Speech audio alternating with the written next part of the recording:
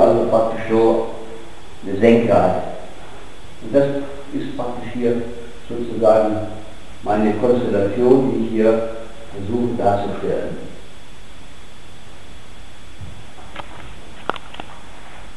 Man kann es also mit der Hand verwischen, man kann es aber auch mit dem Schwamm verwischen. Ne? Also gar kein Problem. Ne?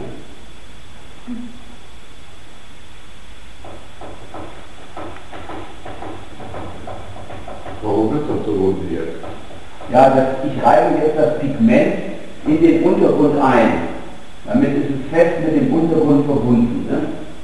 Ja. Genauso wie in der Ölmalerei, wo Sie ja mit den Bindemitteln zum Beispiel die Ölfarben praktisch in das Pigment hineinbringen.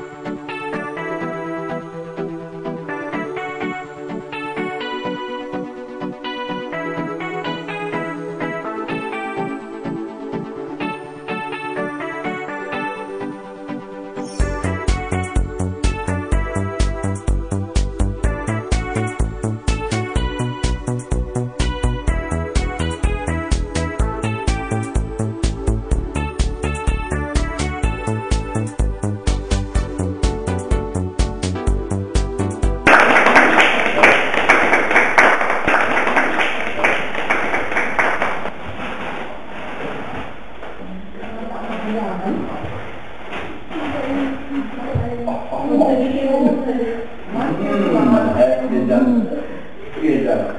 Yeah.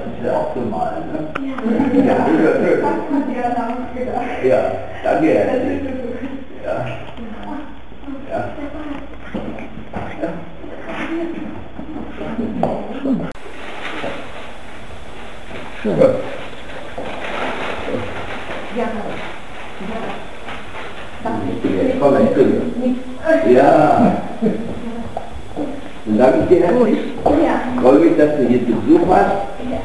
Yeah, that is good. Okay.